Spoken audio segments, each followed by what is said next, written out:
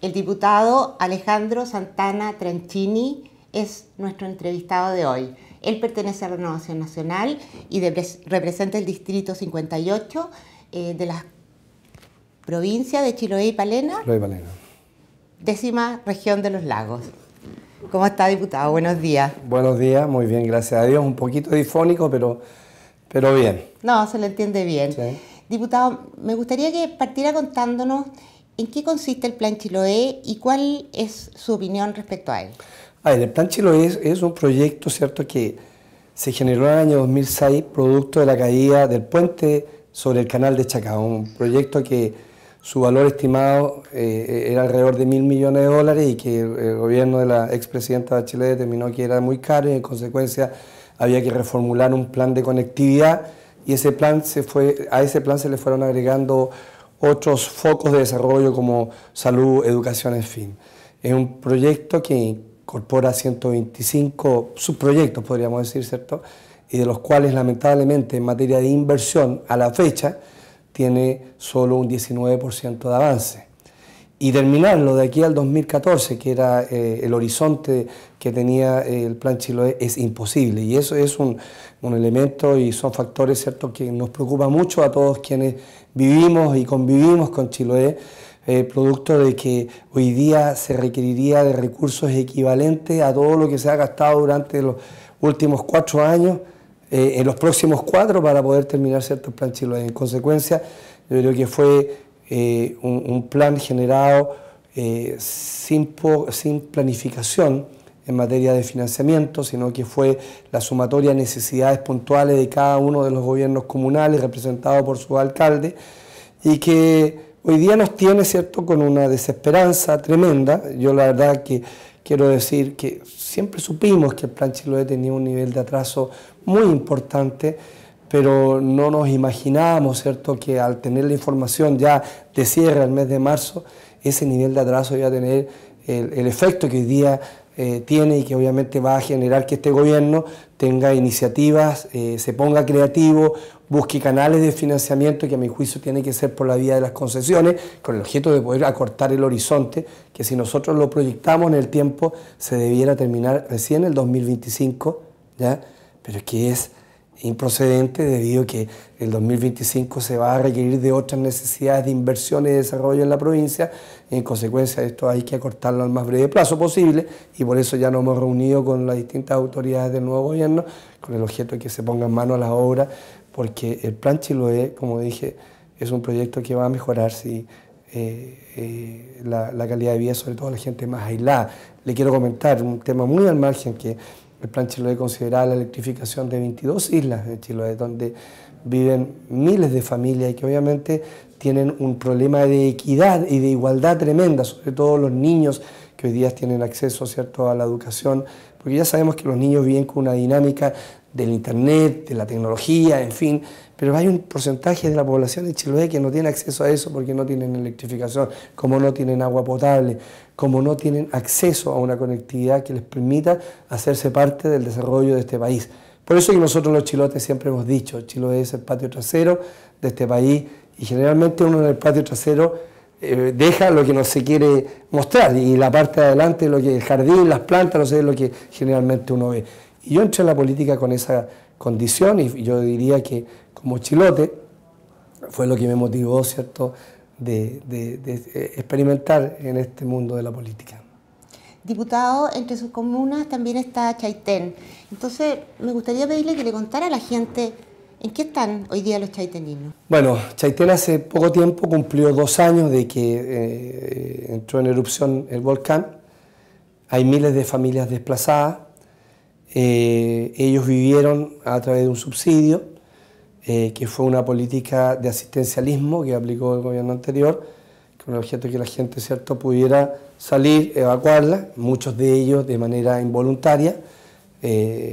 Y, hoy día tenemos una situación de incertidumbre en la cual la reubicación de Chaitén ya no se sabe ni está claro dónde se va a hacer el gobierno anterior había definido un proyecto en Santa Bárbara, que está como a 11, 14, 11 12 kilómetros al norte de Chaitén, y la verdad las cosas es que cuando uno ve el número de personas que van a ingresar nuevamente ¿cierto? a Chaitén.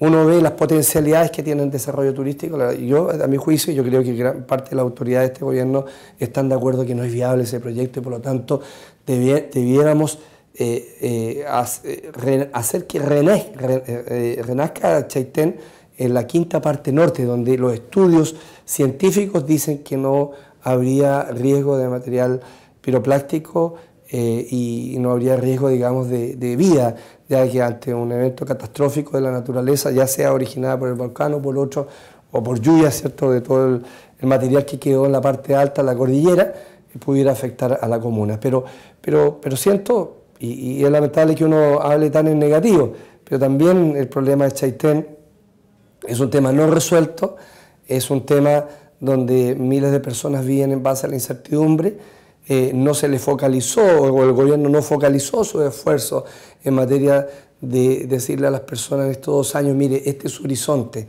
eh, estas son las alternativas, cómo los vamos a reposicionar, cómo lo vamos a reconvertir laboralmente. Mucha gente, ¿cierto?, trabajaba en la agricultura o trabajaba en la pesca. Esa gente, ¿cierto?, hoy día está a brazos cruzados, se le ha terminado un subsidio que es inviable de poder seguir pagando, ya que en promedio son 500 mil pesos y que se van deduciendo a medida que la gente accede a, créditos, o, perdón, a subsidio a la vivienda, en fin. Pero que de una u otra manera su problema de largo plazo o su vida de largo plazo no está resuelta. Y es por eso que también es un gran tema ¿cierto? que este gobierno va a tener que resolver en el mayor plazo posible, porque es fundamental con las oportunidades que traiga Chaitén, porque yo siento que Chaitén como, como comuna tiene una tremenda fortaleza en materia de turismo. De hecho, el turismo en este verano aumentó considerablemente con el turismo, ¿cierto? Eh, o el promedio turístico que traía en los años anteriores. Y por lo tanto creo que ese es el foco a desarrollar y por eso que todos quienes quieran volver a Chaitén eh, inmediatamente hay que empoderarlos en esa, en, esa oportunidad. Y, sobre todo porque la, quinta parte norte chaitén, o sea, la, última quinta parte, ¿cierto? Eh, tiene una infraestructura hotelera, tiene una infraestructura que permitiría, ¿cierto?, no hacer grandes inversiones. Y la gente que quiera reubicarse, quiera vivir ahí, puede hacerlo de ahí hacia el norte. De hecho, la semana pasada ya se aplicó en un 100% lo que es la ley Chaitén, en lo que dice relación a la compra de bienes raíces. Ya, ya la ministra eh, de Bienes Nacionales estuvo allá, se hicieron las primeras operaciones a través del conservador de bienes raíces y en consecuencia la gente ya hoy día puede optar en vender y reconstruir, en vender o quedarse definitivamente en el lugar que hoy día está desplazado. Pero la pena que, uno tiene es porque es una población no muy importante para este país, eh, la problemática es absolutamente marginal a la problemática que tiene Chile con el terremoto del 27 de febrero, pero imagínense, dos años y todavía su situación no está resuelta. Así que gracias a Dios podríamos decir como país que, que la, cantidad de personas que afectó por no fue el millón doscientas mil personas que sí afectó este terremoto hace dos meses atrás, pero, pero Chaitén y, como, y como lo vemos nosotros, tiene una gran oportunidad. El tema es que las políticas públicas tienen que ser firmes, tienen que ser consensuadas con la comunidad y tienen que ser transparentes, porque muchas veces la comunidad eh, toma posiciones sin tener toda la información al respecto de lo que eh, implica o lo que implicó el volcán Chaitén. Entonces, yo creo que eso también ha influido o ha afectado muy fuertemente en que exista un, sector de la población que haya tomado banderas de lucha y que hoy día obviamente esté en una condición de casi como país en guerra en esa zona, porque así vive la gente, sin agua, sin luz. ¿Y qué hace el alcalde de Chaitén? ¿Dónde, ¿Dónde vive, por ejemplo? el alcalde de Chaitén vive eh, en la zona de Palena, él se distribuye entre Futalefú, él tiene casa en Chaitén, obviamente que no, no, no, no la habita, por lo que tengo entendido, pero, pero él ha tratado de hacer los esfuerzos de, generar normalidad, que los servicios públicos ¿cierto? Funcionen relativamente ahí en Chaitén. De hecho, el nuevo gobernador eh, ya ha definido con el intendente y con el gobierno de que cada 15 días van a funcionar en Chaitén eh, los servicios más importantes públicos para poder eh, proveer ciertos de servicios a, la población, porque Chaitén no es solo el Chaitén urbano, el Chaitén tiene, o la mayor un porcentaje importante de la población como la isla de Sectores, Ayacara, el Amarillo, en fin, también requieren y necesitan de que eh, los servicios públicos funcionen, porque si no ellos se tienen que desplazar a largas distancias, por ejemplo, en el, tema eh, de la isla de Sectores, ellos se desplazan a, a Quinchao, que es una isla que está en la provincia de Chiloé, para el tema médico, lo que ha hecho que dentro del sistema médico, dentro del sistema público de salud, que todos sabemos que no funciona muy bien, haya aumentado la demanda y, en consecuencia haya empeorado el servicio para quienes viven en Quinchao. Pero diputado, ¿quién tiene que dar la decisión de que se dé la luz y el agua? El gobierno. El gobierno tiene que dar esa instrucción y nosotros le hemos pedido a través del intendente, hemos conversado con el ministro Interior, de hecho yo he hablado con, con el presidente Piñera con el objeto de que de verdad le demos soluciones porque a nuestro juicio es inconstitucional, ¿cierto? Que exista gente que quiere vivir ahí, que quiere asumir su propio riesgo, que quiere no perder su patrimonio, porque el, proyecto Chaitén, ¿qué dice? Nosotros vamos a pasar subsidios, vamos a compensar lo perdido. Pero hay gente que no tenía, tenía condiciones de emprendimiento, tenía un capital, eh, un capital invertido con una dinámica empresarial importante y con proyecciones de desarrollo. Entonces, eh, ellos requieren que se les provean de esos insumos básicos y eso es, eso es función y determinación del gobierno. Porque tengo entendido que ya se hizo en Santa Bárbara una comisaría. sí, se hizo. Hay un, de hecho, hay una pista de aterrizaje de emergencia que es parte del camino que existe ahí. Eh, pero por eso es una iniciativa, es, esa eh, esos containers que se desarrollaron para poder satisfacer esos espacios, digamos, son transitorios, pero si usted me pregunta, ¿tiene utilidad? No tiene utilidad. La verdad no tiene utilidad. Es un proyecto que demandaría un costo estimado de sobre los 500 millones de dólares para que viva el 30 o el 40% como máximo de la población que vivía en el Chaitén antes de la erupción del volcán. No tiene ninguna justificación. Por una parte, la zona de Santa Bárbara es, una playa abierta, por lo tanto lo que es la infraestructura portuaria tendría que mantenerse prácticamente en la zona que está hoy día. ¿ya? Ahí, en, el tema Chaitén, también hay que señalar eh, la catástrofe que generó dentro del, pueblo, no es por el tema del volcán, es por un tema, ¿cierto?, que los sedimentos, todo lo que cayó, no se encauzó el río Blanco, lo que hubiera impedido, ¿cierto?, de que ese material se desplazara por la comuna. Yo creo que no se hicieron acciones preventivas. Yo no era diputado en esa época, pero sí trabajaba con la gente de Palena y Chiloé porque tengo una fundación que ha trabajado por una buena cantidad de años, ¿cierto?, con la gente más humilde de esa zona. Y, y sí tuve participación en opinar, en decir, pero ¿por qué no colocan, ¿cierto?, un par de maquinarias, coloquen un barco, ¿cierto? No sé, a un kilómetro, dos kilómetros de la playa, utilicen ciertos helicópteros por si hay que salir de emergencia, pero coloquen las protecciones del río Blanco, porque eso va a permitir que el Chaitén no sufra lo que en definitiva sufrió. Y hoy día la pérdida es mucho mayor y se pudo prevenir y en definitiva el remedio, como dice, salió mucho más caro que, que la enfermedad. Pasemos al tema de la salud, diputado porque se supo que usted había tenido unas reuniones con el ministro de Salud, eh, Jaime Mañalis. Eh, ¿Qué pasa ahí? Bueno, la salud pública, de hecho ayer estuvimos en la sesión de la, en, el Congreso de Santiago, la Comisión de Salud, donde vimos que eh, hay un pequeño déficit de 75 mil millones de pesos en la salud hospitalaria de este país, el sistema público, que al 31 de marzo, que tuvo un crecimiento de casi 14 mil millones comparado a diciembre, que la deuda histórica es la más alta desde el año 97, de que hay medición, por lo menos en el informe que tuvimos conocimiento.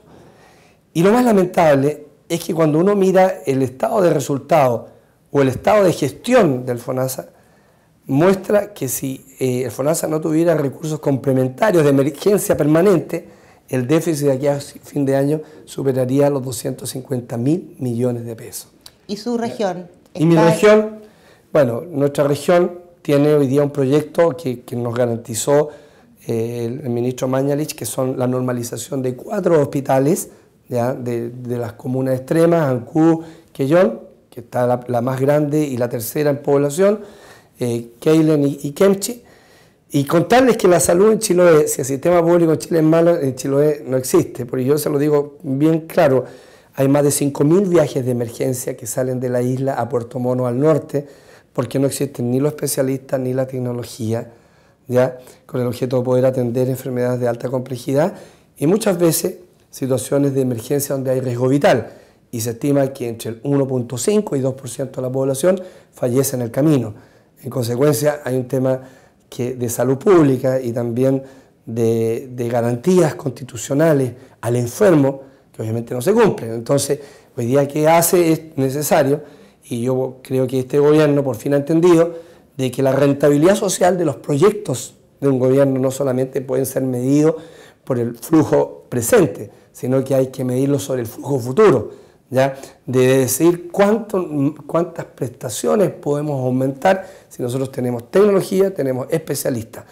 En han hecho eh, algunos proyectos que a nuestro juicio en una primera etapa se constituyeron en elefantes blancos, pero huecos adentro, ¿ya? y que también no lograron cubrir esta demanda creciente, porque tenemos una población que hoy día está envejeciendo, tenemos un número de, enfermedades que a la antigua, como se dice antes, como que no, eran, poco, eran poco conocidas o, no eran tratables, por lo tanto no requerían de, prestación médica. Y por otro lado, porque la, la medicina pública en Chile no solamente tiene un problema de cobertura, sino que también tiene un problema de conectividad, cómo llegar ¿ah? a los centros hospitalarios. Y es por eso que junto al ministro Mañalich, y que de acuerdo a los antecedentes que nos entregaban los vecinos, nos dijeron que era la primera vez que un ministro a una isla que se llama Piao, que está al interior de otra isla, que es la, comuna de Quinchao, a ver un CEFAM, que obviamente como modelo y como eh, eh, eh, hay que reconocer que es bueno y que más aún esa, esa, estructura inmobiliaria uno lo puede utilizar también para generar otros servicios a la comunidad, como generar un, proyecto de alfabetismo, porque tenemos una población con un índice de analfabetismo importante, poder integrar a la comunidad, ¿cierto? a los sectores de, de menor edad para poder hacer actividades propias de eh, aprendizaje, aprovechar que esos CEFAN tienen tecnología o tienen conectividad a Internet, hacer cursos de capacitación, por fin, por lo tanto el modelo es súper útil, pero hay que ramificarlo, hay que multiplicarlo, no puede ser, ¿cierto?, una aguja en un pajar, sino que tiene que, ser, tiene que tener un efecto multiplicador. Y yo siento que cuando las autoridades que toman las decisiones, las que en definitiva aplican las políticas públicas, como en este caso el ministro de Salud, es importante que vayan a las regiones, es importante que se sensibilicen, es importante que vean cómo vive la gente, porque así priorizan los proyectos y obviamente ese matiz de rentabilidad social en algunos casos, pensando en el futuro, pueden quedar en segundo lugar. Diputado, eh, es bastante caótico el panorama que nos ha dado de su región. Me gustaría que nos dijera qué cosas buenas, qué cosas funcionan bien allá. ¿Qué cosas funcionan bien? Chiloé Chiloé tiene una riqueza patrimonial, cultural, gastronómica, que puede ser un diamante en bruto en materia de una industria sin chimenea como es el turismo. Si Chiloé tuviera inversión, capacitación, nadie en Chile, incluido la provincia de Yanquihue, lograría competir. Estamos avanzando.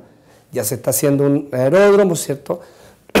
Nuevo, que es parte del proyecto del Plan Chiloé que tiene un 60% de avance en materia de lo que es la inversión. Yo dije que era un 19% como concepto general. Este tiene una gran etapa de avance y obviamente esto tiene que ir complementado a tener dentro de la ruta de, los proveedores de, transporte aéreo eh, que lleguen allá. Eso va a permitir que el turista extranjero, el de mayor poder adquisitivo, que busca un, turismo, de, el ecoturismo, el, turismo de aventura, lo tenga Chile. De verdad que Mire, nosotros hemos hecho una proyección que al año 2025, 2030, el 30-40% de la población de Chiloé podría vivir del turismo.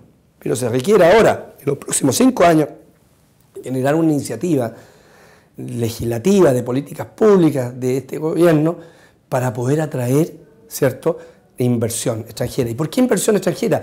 No es que la inversión nacional no, sea importante. De hecho, en Chile había un proyecto, y digo había, porque se pusieron tres torres, que era un, casino ya en Castro, pero ese proyecto, si no tiene, no tiene tráfico aéreo, si no tiene buenas carreteras, el consumidor, consumidor va a ser el habitante de la misma provincia, en definitiva no vamos, a, no vamos a agregar ¿cierto? un gran flujo turístico. Pero lo que yo quería decir, en términos reales, yo creo que Chile tiene una riqueza, muy importante, alto nivel de competitividad y, nuestra gente, nuestros antepasados fueron capaces de hacer casas que hoy día tienen reconocimiento internacional en materia de arquitectura. Tenemos muchas iglesias que son patrimonio de la humanidad. La gente antigua era capaz de trasladar todos sus bienes e insumos a través de bosques sin ser ingenieros navales, en consecuencia hay una inteligencia emocional, hay una materia gris muy importante, sobre todo la gente la etnia que son, muy, que son representativos en algunos sectores de Chiloé, pero que no tienen los espacios. La cultura, las tradiciones tienen que tener este reconocimiento. Lo hemos hablado también con la gente de cultura, lo hemos hablado con la gente de educación, con los objetos que eh, eh, prioricen este proyecto. Y, Chiloé, eh, no, no, no, es que todo sea malo, yo no quiero dar esa visión, yo lo que estoy diciendo es que Chiloé, lamentablemente, porque representa menos del 1% de la población, en los últimos 20 años no fue desarrollándose de acuerdo a cómo se ha desarrollado el resto del país. Y indicadores son muy claros. Tenemos una tasa de salario que está un 30% por debajo del salario promedio del país. Tenemos una escolaridad que, en enseñanza superior que es la mitad del promedio que tiene este país, porque no ha habido inversión pública en un centro universitario que esperamos que se haga ahora, porque hay una demanda de jóvenes que salen a Puerto Montt o al norte a estudiar a universidades tradicionales y privadas y que si nosotros tuviéramos esa cobertura en Chiloé, primero que todo podrían estudiar más gente, que muchos, muchos no lo hacen porque su papá no tiene el poder adquisitivo, y segundo, podríamos tener una mayor integración familiar, porque muchos de los que estamos aquí presentes seguramente vivimos con nuestro, bueno, yo no, porque yo me separé de mi papá a los 19 años porque me tuve que venir a estudiar a Santiago pero eh, en general los hijos se van de sus casas a los 24, 25 años.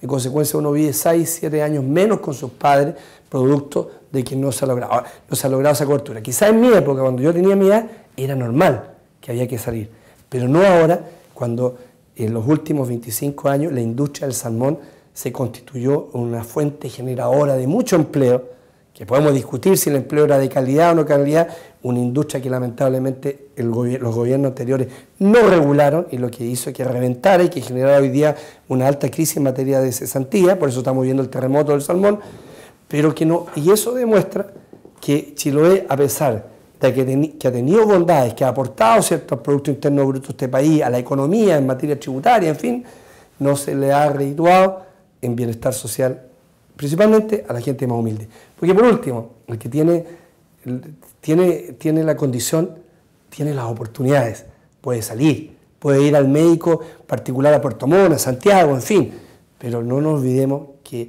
tenemos un, índice de pobreza, un índice de ruralidad muy importante en la provincia y lamentablemente no se ha visto de esa manera en los últimos años, o yo diría en la historia, para no ser tan preciso y no hacer una crítica puntual, a los gobiernos de izquierda que existieron hace, hasta marzo de este año. Entonces, yo creo que Chiloé, y, estamos, y por eso, y ese es nuestro desafío, Chiloé va a tener universidad, va a tener universidad y vamos a tener más niños estudiando, vamos a mejorar nuestras condiciones salariales en consecuencia por más capacitación y educación formal y vamos a tener un fortalecimiento en el emprendimiento, que eso es muy importante.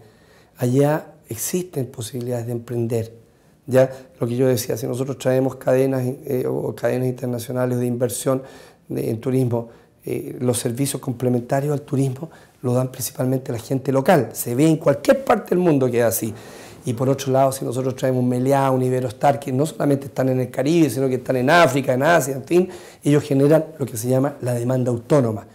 ¿ya? Porque si alguien entra en en un hotel en Asia y quiere del ecoturismo, y si dentro de la cadena existe Chiloé, lo más probable es que se la puedan ofrecer como un punto de, visita. Diputado, me gustaría llevarlo a las últimas elecciones parlamentarias, porque usted eh, le ganó en la elección al diputado, al diputado de ese entonces, UDI Claudio Alvarado. Me gustaría preguntarle si esto ha tenido alguna consecuencia para usted en lo personal. ¿Consecuencia de qué tipo? Eh, no sé, política, con la UDI. Hasta el día de hoy yo no, lo he sentido y espero que así no sea, porque la verdad que estamos en un país democrático, la gente opta. La verdad que yo tuve una, competencia dura, obviamente que esto era En una primera etapa quizás se veía como David y Goliat, pero el resultado mostró que yo gané con una amplia mayoría, tuve una de las principales votaciones en el país de los diputados centro-derecha. La verdad que mi diferencia con, con Alvarado fue astronómica, le gané por, muchas, por, muchos votos y por muchas, en términos de tasa. No solamente le gané a Alvarado, sino que también le gané al otro diputado de la concertación. Y eso yo se lo agradezco de corazón a la gente. Y yo siento, ¿sabe por qué? Que gané de esa manera. Porque... ¿El ex diputado Alvarado era de la zona también? Sí, él era de la zona y, yo también soy de la zona, a pesar de que viví mucho tiempo en Santiago, pero tengo mi casa en un lago muy bonito que se llama Taragüín, que está al, sur de, de, Chonchi. Pero lo que yo le quiero decir, yo creo que la política hay que transformarla derechamente, hay que cambiarla, yo creo que hay que hablar menos y, hacer más. Y yo lo que traté de hacer en los últimos años, cuando tomé la decisión de, de ser diputado, y conversado esto con Carlos Larraín, que es el presidente de mi partido, y también con el actual presidente Sebastián Piñera, fue hacer un trabajo distinto con la gente. La gente ya está aburrida del asistencialismo, está aburrida que el diputado llegue con la camiseta, con la pelota, con la copa y que no exista ningún otro valor adicional a la actividad social. A ver, yo creo que, y yo creo que ahí, yo creo que marcamos la diferencia. Yo, quiero preguntarle, ¿cómo cree usted que va a poder influir para que todo esto que me ha dicho que funciona a medias o, o no funciona, cambie? Porque a lo mejor las autoridades regionales en este minuto van a estar más de acuerdo. ¿Cómo, cómo, lo, cómo ve que se puede producir ese cambio? Con convicción, con sentimiento y humanizando la política. Eh, si no lo logramos, tenemos que irnos para la casa. Es así de simple. Para mí la política no es una opción de vida, como muchos. Para mí es una experiencia de vida. Yo creo que ahí hay una brecha gigante, digamos, en su objetivo. El hecho que dije, que Mañalich esté en las islas, Estamos generando sensibilidad. Y vamos a llevar a toda la autoridad. La próxima semana va a estar el ministro de Obras Públicas, criticado porque se ha tratado de decir que por la reasignación presupuestaria el plan Chiloé no se va a cumplir. Y, podríamos tener toda la plata del mundo y el plan Chiloé tampoco se va a cumplir en el 2014, sino un problema de plata. ¿La reconstrucción? El tema de la reconstrucción. Entonces hoy día el ala de izquierda dice, no, mira, ¿sabes qué? Como el gobierno de Piñera está reasignando recursos por la reconstrucción del, y se olvidan de que hubo un terremoto, ¿cierto?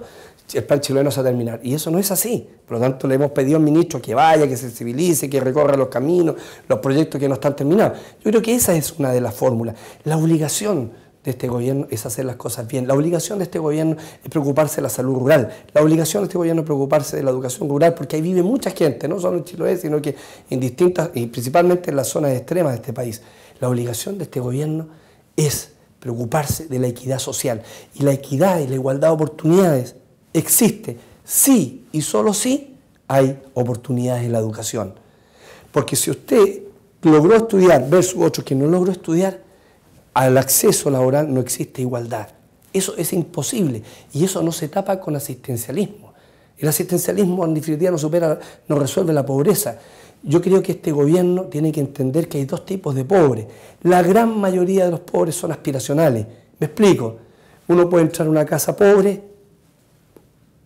pero ordenada, calefaccionada, con los hijos estudiando. Ese es un pobre aspiracional versus otros pobres que lamentablemente muchas veces son víctimas del flagelo de la, droga, del alcohol, por la falta de oportunidades, y a ellos hay que tratarlos bien y empoderarlos, pero de otra fórmula. Pero no nos podemos olvidar de eso. La única manera que este país sea desarrollado es por el crecimiento económico. Y ese crecimiento económico tiene que estar en función al empoderamiento, a la capacitación y la educación. La inversión en las personas es el proyecto futuro de este gobierno. Y si se pierde ese foco y si pierde ese horizonte, no tenemos, como dice por ahí alguien, ninguna posibilidad de éxito. Entonces yo creo que nuestro esfuerzo será eso. Mire, yo, yo he visto en, este, en estos dos meses que yo he diputado, se habla mucho. Yo dije, yo fui, le pedí, pero al final, como decimos los chilotes, ni una papa pelada. En definitiva, yo creo que lo que tenemos que hacer es trabajar con la gente, ir a los sectores. Mire, yo he estado como parlamentario en islas donde también me decían, hito histórico. Nunca había llegado un parlamentario elegido o electo a vernos posterior a una elección. Esa es la forma de cambiar las cosas. De entender que uno tiene que barrer hacia adentro y donde nosotros tenemos que preocuparnos muchas veces donde hay menos gente, porque donde hay menos gente están los mayores problemas. Porque donde hay más gente, por esta cuestión electoral, por esta cuestión donde hay más gente, hay más votos, en consecuencia donde yo tengo que meter mis recursos, ¿ya? nos desplegamos. Pero hay un tema, la gente de Chile es muy inteligente y la gente de Chile es, perdonando la distancia, creo que lo, es mucho más aún. Y la gente observa, la gente ve como la gente hoy día ya también ve los canales internacionales de televisión. Hay gente que tiene acceso a Internet. Los niños hoy día están desarrollando una inteligencia o, están desarrollando su inteligencia de una manera muy distinta. Por eso hubo un triunfo y muy importante del actual presidente Piñera en Chile con casi un 60% promedio. Por eso yo estuve, eh, saqué una alta votación, porque yo creo que nosotros nos dedicamos a trabajar y en lo particular junto a mi familia, a mi mujer y a, quienes creyeron en mí, eh, a, un grupo ¿cierto? de profesionales, de gente de esfuerzo, a generar un cambio importante en Chiloé. Y obviamente que me obliga, me compromete. Y por eso que creo que a la política, para hacer esos cambios, hay que ponerle corazón, hay que ponerle sentimientos. Y eso muchas veces es una variable que está por sobre los intereses de un político. Diputado, mire, no sé si usted sabe, pero estas entrevistas forman parte de la historia político-legislativa de nuestro país. Van a quedar en unos archivos, son, son filmadas en alta resolución. Entonces me gustaría pedirle para finalizar que usted le explicara a la gente cómo un empresario exitoso eh, decide de repente entrar en política. A ver, yo creo que, que, el tema de, de la política para mí dice relación directa al lugar donde nací, donde me crié, donde tengo mi familia y donde y yo le quiero contar, yo por el lado de mi padre pertenezco a una familia rural, a un sector que cuando yo era chico no había ni luz ni agua ni camino y era mi abuelo. Y por el lado de mi madre, que mi abuelo viene de Argentina, Italia, Argentina, por lo tanto tengo una combinación, ¿cierto? Ahí eh, media extraña. Pero, pero yo me acuerdo de mi niñez, cuando no había diferencias sociales, cuando éramos amigos del más platudo, como se dice, hasta el más pobre y todos jugábamos juntos.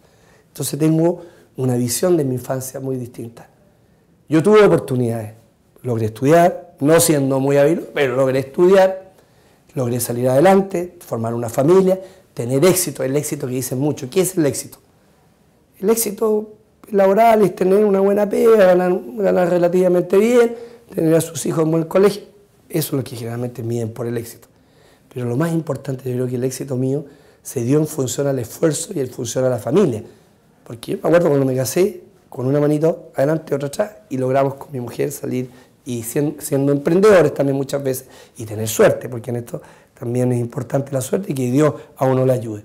Entonces entré la política porque veo que la historia que había cuando yo era joven, ya hace 22, 25 años atrás, cuando yo salí de Chiloé, o un poco más, en muchos casos no ha cambiado.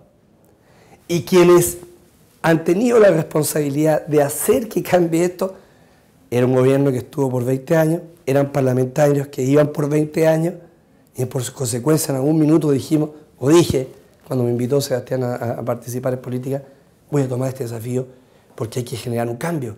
Porque no es posible que yo creo que todos tenemos nuestra oportunidad y todos tenemos que hacer todo lo que... Y yo creo que todos tienen buenas intenciones, eso que quede claro. Yo aquí no estoy haciendo ningún juicio de valor. Yo creo que todos hacen su mejor esfuerzo. Pero sí siento que la política también tiene que tener algo de empresa, algo del mundo privado. En una pega, cuando uno le pone metas y desafíos, no los cumple, lo echan. Y dicen, venga otro que la verdad que lo haga bien y esperemos lograr el objetivo. En política no pasa eso. Hay gente que puede estar 20, 24, 30 años atrás y cuando uno mira los indicadores sociales del sector que representa no mejoran. A otros sí mejoran.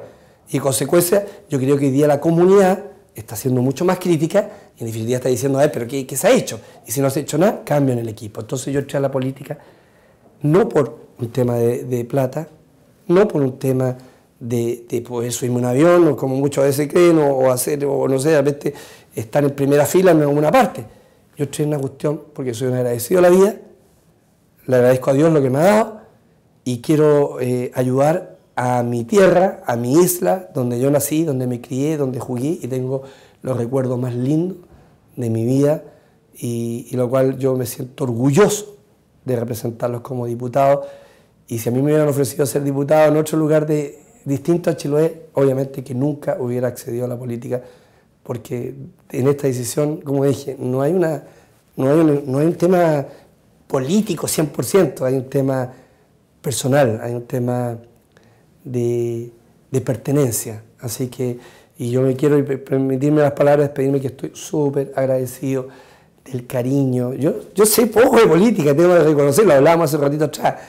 Está, eh, la ramificación del Estado, la terminología que aplican aquí los parlamentarios, los reglamentos, en fin, son cosas que quizás lo vamos a aprender con el tiempo y después nos vamos a volver. Pero, pero creo que el trabajo eh, y, el cariño que uno ha recibido de la gente, la verdad que me ha gratificado mucho y eso ha sido una sorpresa muy positiva para mí y, estoy contento y Dios quiera que la salud ¿cierto? nos acompañe para, en el tiempo que yo sea parlamentario, que en ningún caso creo que voy a ser parlamentario ni por 20 ni por 16 años, yo creo que un parlamentario no debería acceder más de tres periodos, un diputado, como máximo, lo haga bien o lo haga mal, para darle espacio, porque la política también dice, yo trabajo para que la gente tenga oportunidades. Y yo creo que el primer ejemplo lo tenemos que dar al momento que gente joven o otra gente con nueva idea, con más fuerza, también diga, yo quiero representar a Mila, porque ganarle un parlamentario en ejercicio es difícil, o ganarle a un alcalde es difícil. Es muy difícil, sobre todo cuando entra alguien que es nuevo y no es conocido por la gente. Así que hay un gran desafío. Yo espero que este gobierno lo haga bien, ese es el compromiso. Yo soy un parlamentario de gobierno pero por sobre todo soy un parlamentario que representa a la gente de Chiloé y espero que el gobierno se porte a la altura, se porte bien con los chilotes, porque si no, eh, obviamente que mis prioridades va a ser siempre trabajar por, por nuestra gente. Diputada Santana, lo felicitamos por su entusiasmo, le deseamos que le vaya muy bien y muchas gracias por haber venido. Bueno, muchas gracias, un saludo muy cariñoso a todos.